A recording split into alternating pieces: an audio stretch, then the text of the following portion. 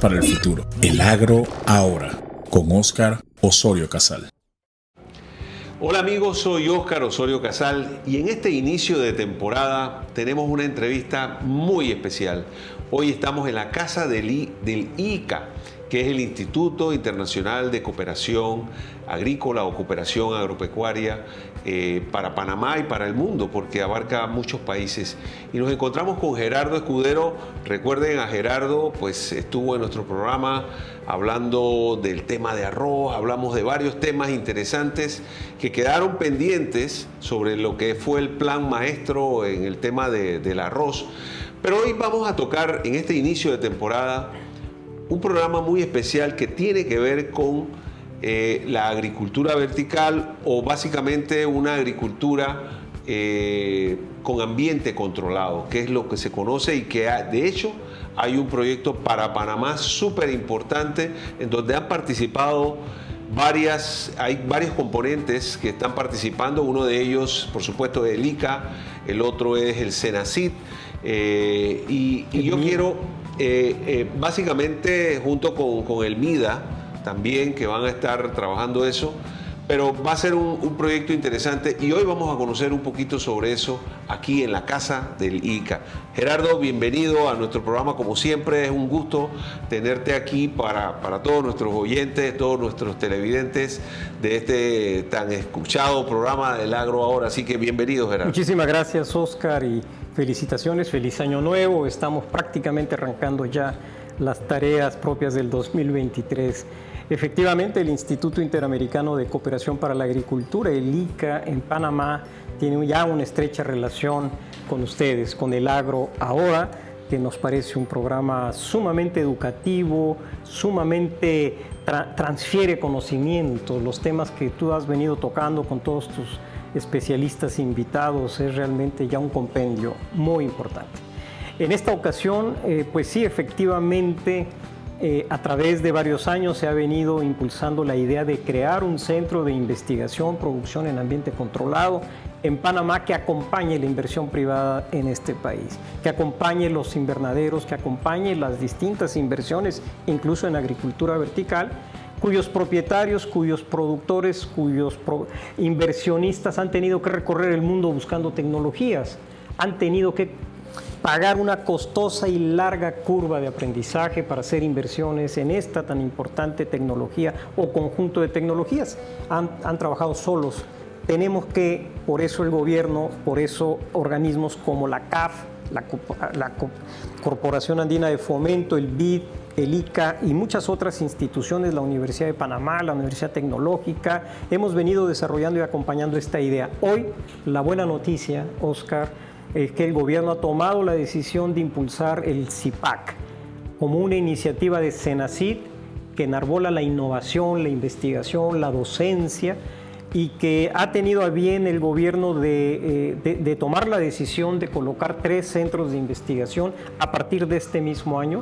Uno estará en Tocumen, otro estará en Guararé y otro estará en Chiriquí, en terrenos de la Universidad de Panamá, que ha habido un asocio con la universidad para ceder estos terrenos y establecer estos centros no como entes aislados, sino muy metidos en un ambiente de co-creación de investigadores, de estudiantes, de maestros y de centros de investigación.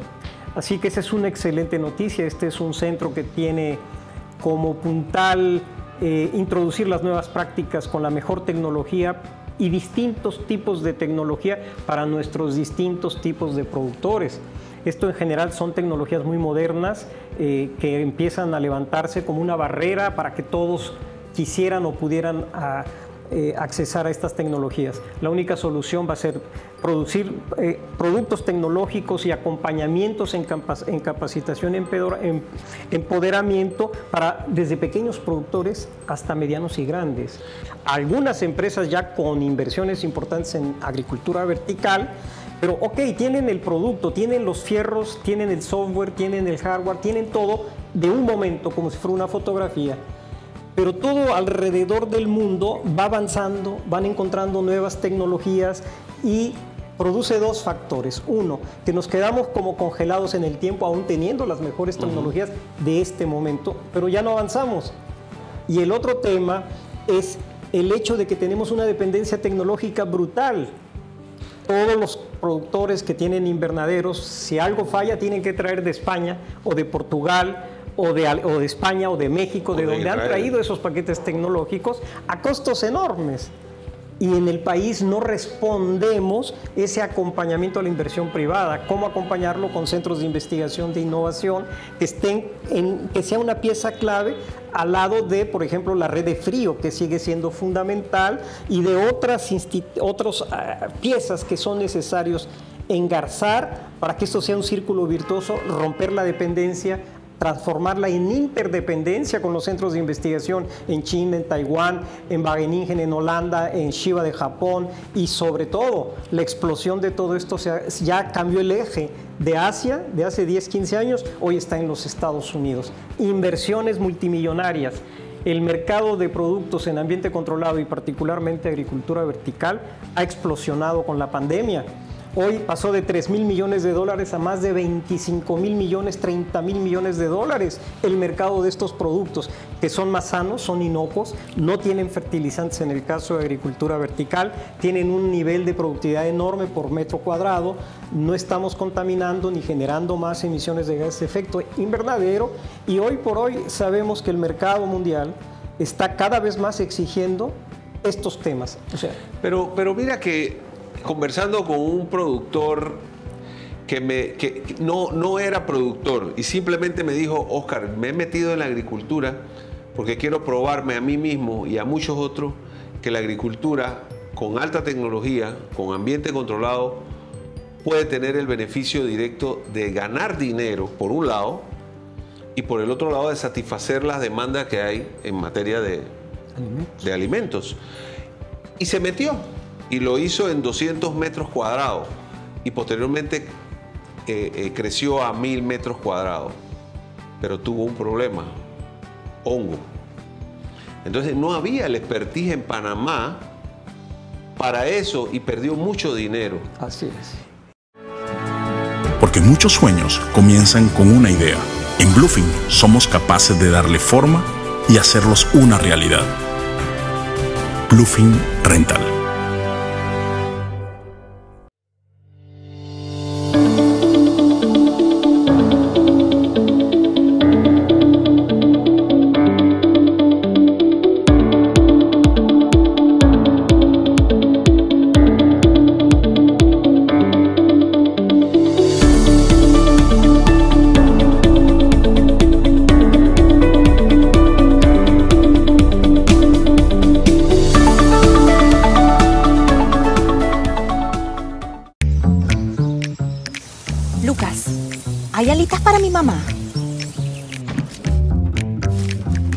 Pidieron pollo, costillas, arepas y más chorizo.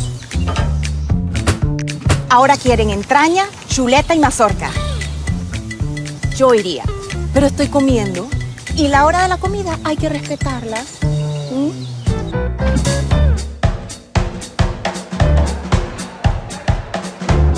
Por suerte tienen de todo aquí cerquita. Super 99. De que te conviene, te conviene. Acabaron las alitas. Hola amigos, soy Oscar Osorio Casal del programa El Agro Ahora que se transmite en nuestro canal de YouTube y en nuestra cuenta de Facebook como El Agro Ahora. Ahora podrás escuchar nuestra retransmisión los sábados de 4 y 30 a 5 am y los domingos de 5 a 5 y 30 AM a través de la frecuencia de la gran cadena exitosa. La exitosa siempre arriba. Preparémonos para el futuro. El agro ahora con Oscar Osorio Casal.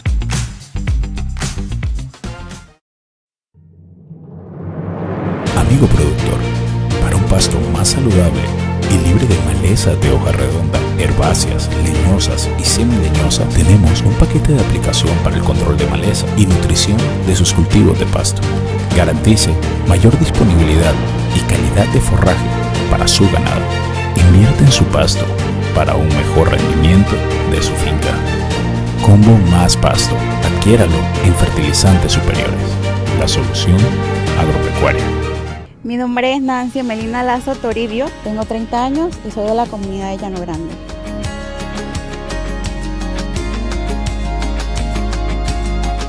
Se me cumplió el sueño, no solamente de ser operadora de equipo pesado, sino que también me dieron la oportunidad de ser entrenadora de uno de los equipos más grandes que llegó aquí a Panamá. Siempre se ha dicho que el equipo pesado es para hombres, de los mayores retos ha sido este, poder incluirme y poder hacerlo bien. La avispa gigante asiática, Vespa mandarinia, es el insecto de su especie más grande del mundo. Una reina puede superar los 5 centímetros mientras que machos y obreras pueden medir hasta 3.9. Su abdomen tiene bandas café oscuro y negro, que se alternan con bandas de tono naranja-amarillo. Su cabeza y mandíbula son grandes, con un tono anaranjado intenso y ojos prominentes. Se considera una especie invasora, agresiva y depredadora de las abejas melíferas y otros insectos polinizadores que son claves para mantener la biodiversidad la agricultura y los ecosistemas. Los ataques de la avispa gigante asiática a personas son esporádicos y los realiza como mecanismo de autodefensa. En América, esta avispa solo se ha reportado en la zona fronteriza de Canadá y el estado de Washington, Estados Unidos. Recomendaciones. Fortalecer la vigilancia en puertos, aeropuertos y fronteras. Utilizar cajas, fondos y techos que no presenten perforaciones adicionales. Mantener colonias de abejas bien pobladas durante todo el año. Colocar trampas para capturar otras avispas invasoras. Evitar niveles altos de infestación del ácaro varroa para mantener sanas y equilibradas las colmenas. Notificar de manera oportuna al Ministerio de Agricultura y Ganadería de su país ante cualquier sospecha de Vespa mandarinia. Si se detecta algún nido sospechoso, evita acercarse o intentar destruirlos. Esto para reducir la posibilidad de ataques de la avispa. Organismo Internacional Regional de Sanidad Agropecuaria, OIRSA. Y lo, bueno de este proyecto que ustedes están eh, tratando de lanzar es que va a servir como un punto de referencia no solo para el pequeño, sino para el gran inversionista, para no tener los problemas que han tenido otros, ¿no? Con temas de hongo, con temas de, cómo contrarrestar el problema, porque Panamá no tiene una, no, es, un país frío, tiene una temperatura eh, tropical, pero tiene un problema de humedad relativa. Correcto. que es mucho más alta. Entonces, con este proyecto podemos demostrar que podemos producir no solo en temas de volcán o cerro punta, sino también acá en Tocumen. Voy a dar un ejemplo ya, de, aparte de lo que es la investigación, la innovación, como serán estos centros, pero ya de inversiones comerciales, y estoy autorizado para decirlo. En Agua Dulce hay una empresa muy importante que se metió ya en grande a producir leche, lácteos, ganadería, y voy a dar el nombre, es Chispita, que está en Agua Dulce. Es una inversión que tiene todas las tecnologías para poder alimentar 200 vacas en el promedio de carga animal en mm. Panamá necesitaríamos como 200 hectáreas o, quizá un poco más. O sea, que está en el Cristo. Para que un animal coma. Bueno, hoy ya no requieren 200 hectáreas. Ellos tienen una inversión de pastos en agricultura vertical, luces LED y todo lo que implica el paquete que están viendo aquí en el ICA. ¿Qué significa eso? Un ahorro impresionante, reducir la carga sobre los recursos naturales y que uno dice, el paso es armar las piezas con la inversión privada, comercial de los productores asociados, con el acompañamiento de la ciencia, la tecnología, la innovación, la investigación, las universidades, para que ese círculo virtuoso nos permita equilibrar la dinámica con la que viene transformándose el agro en el mundo y no depender tanto de otras unidades, de otras eh, entidades de investigación muy importantes, de las más prestigiosas. CIPAC nace, por cierto, no solo con esa perspectiva de hacer de la dependencia una interdependencia, sino nace aún sin tener las instalaciones ya con asocio con los mejores centros internacionales de, agricultura en ambiente controlado. Estaremos mandando seis investigadores ya durante dos años a Texas AM, a North Carolina, eh, a, Arkansas, a Wageningen, a Shiba de Japón y por ahí con la NASA para que estos investigadores, para que vayan a tropicalizar las líneas que ya están definidas para los próximos dos años. Nosotros calculamos que a finales de este año 2023 ya tendremos tres invernaderos, ya tendremos una agricultura en ambiente controlado, algunos laboratorios y en el 2024 ya tendremos los tres centros que hemos mencionado ya funcionando. Para que cuando ya vuelvan estos investigadores con esta experiencia, con este desarrollo, ellos van a trabajar pastos, y productos probióticos y otros productos para ganadería que tanto necesita Panamá. También se va a trabajar frutos rojos, fresas, arándanos, etcétera, en ambiente controlado, en agricultura vertical. Y se va a trabajar también un tema muy importante, que es el banano y los plátanos. Sobre todo de cara al fusarium, ¿no? sobre todo al raza, al 4T, que, está poniendo en jaque a más de 400 millones de personas que producen plátano y banano en el mundo y tenemos que hacer de la reproducción in vitro y de otras tecnologías la multiplicación de material genético sano que realmente responda a una, un requerimiento de los productores. ¿no? Yo no quiero producir plátanos que ya vengan infectados desde el principio. Así que estos investigadores eh, arrancan a partir del, calculamos, del segundo trimestre de este año ya con sus protocolos de investigación.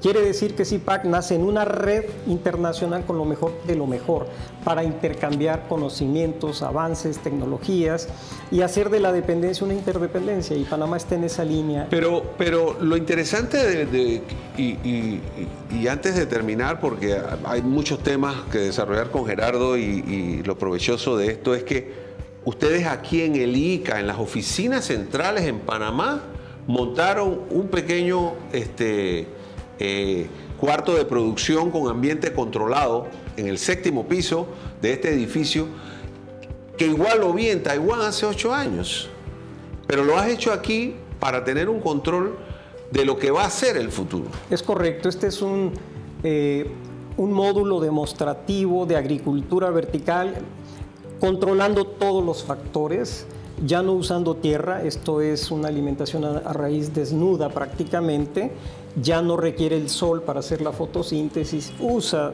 tecnología LED y una serie de sensores y controles que permiten en su totalidad producir alimentos, ustedes lo van a poder apreciar.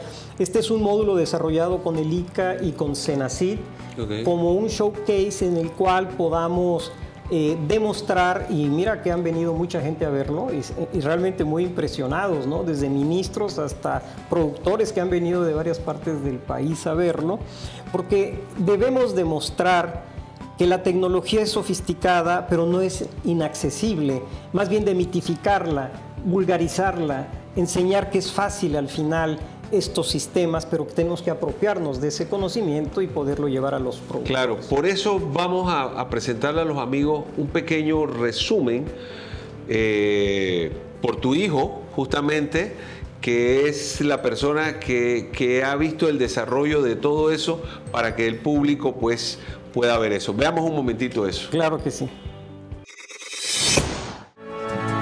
Porque muchos sueños comienzan con una idea en Bluefin somos capaces de darle forma y hacerlos una realidad. Bluefin Rental. Mi nombre es Nancy Melina Lazo Toribio, tengo 30 años y soy de la comunidad de Llano Grande.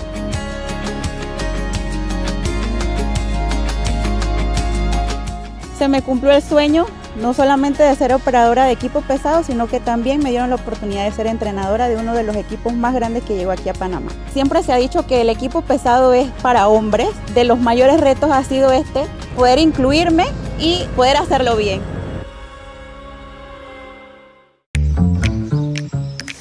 Lucas, ¿hay alitas para mi mamá? Me pidieron pollo, costillas, arepas y más chorizo. Ahora quieren entraña, chuleta y mazorca. Yo iría, pero estoy comiendo y la hora de la comida hay que respetarla. ¿Mm?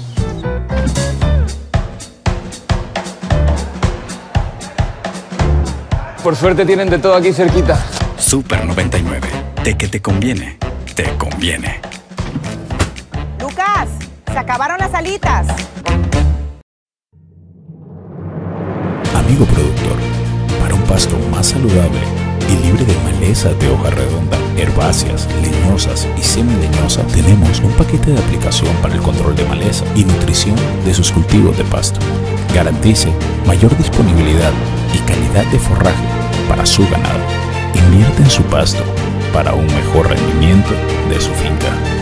Combo Más Pasto. Adquiéralo en fertilizantes superiores. La solución agropecuaria. Amigos, soy Óscar Osorio Casal del programa El Agro Ahora, que se transmite en las plataformas de Facebook y YouTube. Ahora podrás escuchar su retransmisión en los 1410 kHz de Radio Mensabé, los sábados de 7 a 7 y 30. No se engañe, compa, los esperamos. Preparémonos para el futuro. El Agro Ahora, con Óscar Osorio Casal. Buenas tardes, ¿qué tal? Bienvenidos a la finca vertical establecida en el ICA. Aquí tenemos el cuarto hidropónico en donde tenemos un equipo de osmosis inversa en el cual nosotros purificamos el agua entrante retirando todos los que son posibles contaminantes, microorganismos. Utilizamos una cámara de luz ultravioleta que nos permite erradicar por completo posibles patógenos que entren a contaminar el agua y a la vez eh, purificamos el agua. Dentro de esta agua se encuentran disueltos todos los nutrientes necesarios, tanto en macro como micronutrientes, para poder dar biomasa a estas plantas y crecimiento. Tenemos bombas de flujo y entrada, ¿no? Entonces aquí logramos optimizar el 99% del uso de agua a diferencia de la agricultura convencional en campo abierto. En cambio aquí tenemos un sistema cerrado en el cual recirculamos y recaptamos el agua que normalmente se pierde en el campo. De este lado tenemos la finca vertical, el cual es un sistema hidropónico en multiniveles, el cual se encuentra operando en su totalidad en ambiente controlado. Este opera a través de un sistema computarizado que nos permite llevar a cabo la inteligencia artificial, el Internet de las Cosas y el aprendizaje automatizado para poder censar y monitorear en tiempo real desde nuestros dispositivos celulares, computadoras o tablets todas las variables de cultivo en tiempo real desde las variables del porcentaje de humedad relativa, la temperatura del ambiente y, eh, la concentración de dióxido de carbono por partes por millón que hay en, en, nuestro entorno. De este lado nosotros lo que utilizamos es una solución nutritiva la cual corre y cae por gravedad en cada uno de nuestros niveles que entran en contacto con nuestras raíces desnudas que absorben de manera homogénea y sin competencia alguna cada uno de los nutrientes que nosotros estamos estableciendo en nuestra solución nutritiva. De este lado podemos ver que esto es un sistema hidropónico con luces LED asistidos, en donde nosotros proporcionamos una banda de longitud de onda específica de luz para producir fotosíntesis. Eh, a diferencia de la agricultura en campo abierto, las lechugas eh, tardan un periodo de cosecha aproximadamente de 70 días. En cambio, en estos sistemas podemos reducir los ciclos de producción hasta 30 días. De este lado tenemos nuestro generador de dióxido de carbono, el cual funciona a través de, de, gas butano. Lo que básicamente utilizamos es un proceso de descomposición del gas butano para que podamos generar CO2 y las plantas puedan capturar en el ambiente esa fuente de carbono y así crecer en biomasa. ¿vale? Eh, de este lado es nuestro sistema de inteligencia artificial el cual funciona eh, a través de sensores que nos permiten a nosotros medir lo que es la temperatura, el porcentaje de humedad relativa y la concentración de dióxido de carbono y todo esto está conectado a la nube, al internet en la cual nosotros en nuestro teléfono podemos saberlas y cambiarlas al favor del requerimiento ambiental y nutricional de la planta. Desde este sistema nosotros podemos eh, controlar lo que es la conductividad eléctrica del agua, el pH y su temperatura. Todo esto a favor de las plantas.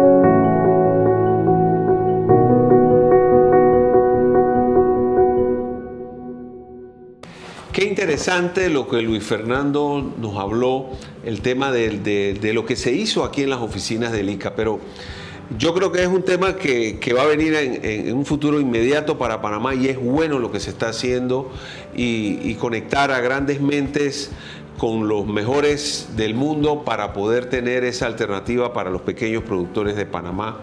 Eh, es un paso importante para Panamá. Finalmente, pues, agradecerte, como siempre, Gerardo, todas estas cosas que hablamos, porque es lo que se necesita, es, es la docencia que tenemos que hacer y es el entrenamiento para la formación de nuevos líderes, que es lo que yo siempre he hablado, porque tenemos que formar los agricultores del mañana y prepararnos para lo que el mundo necesita, que ya llegamos a 8 mil millones de, personas, en el mundo y seguiremos creciendo. Me gustaría concluir eh, esta interesante charla eh, con dos temas. Tú has mencionado juventud y efectivamente nosotros tenemos que ser tan prácticos como para no solo relanzar la agricultura con todos estos temas de agrotecnologías, sino cómo logramos que nuestros jóvenes se mantengan en el sector, porque hay un éxodo en toda América, en, el mundo entero los hijos no quieren volver a tocar la agricultura. Hoy el mensaje es, no, este es otro tipo de agricultura, más limpia, más tecnologizada, los chicos les encantan las tecnologías, pero que les dé dinero acá, en su bolsillo, que le produzca riqueza, que produzcan alimentos a buen precio para los consumidores, cada vez más productivos sean y tengan su rentabilidad que cualquier otro y tal vez ya cada vez más difícil eh, lugar en el mundo, en las zonas urbanas, va a ser más difícil conseguirlo. Hoy con estas tecnologías los jóvenes sí pueden decir me quedo en el agro, pero en un agro muy diferente, rentable. Y el segundo tema tiene que ver con una realidad que los productores que nos están viendo deben estarse preguntando, es cómo yo acceso, si esas son tecnologías caras. La realidad son caras, sí hay que decirlo, son caras. Habrá quien podrá accesar, cada vez las tendencias de precios vienen cayendo, así como un iPhone hoy cuesta mucho menos y produce mucho más que aquellos, te recordarás aquellos primeros este, celulares que parecían armas más bien de defensa. Así bueno, así viene toda la tecnología, las luces LED, los, los paneles, etcétera. Pero lo importante de este tema es que necesitamos asociarnos, sobre todo los que somos pequeños productores. Sin asociatividad y agrupación va a ser más difícil accesar a estas tecnologías. El mensaje es, rompamos ese individualismo, ese secretismo de que yo tengo la mejor tecnología y abrámonos con confianza con aquellos actores que sentimos dicha confianza para poder invertir juntos y para eso el Estado, el gobierno se prepara hoy para poder acompañar esos esfuerzos. Aquí el problema fundamental que hay que resolver es cómo aprovechamos la gran potencia que tiene la agricultura familiar. Tenemos que llevarles tecnología. Así, Así que Oscar, eh, ha sido un placer. Eh, eh, Igualmente para mí y que esto llegue a donde tiene que llegar porque realmente es un beneficio para el país. Amigos, soy Óscar Osorio Casal y este fue su programa El Agro Ahora. Preparémonos para el futuro. El Agro Ahora con Óscar Osorio Casal.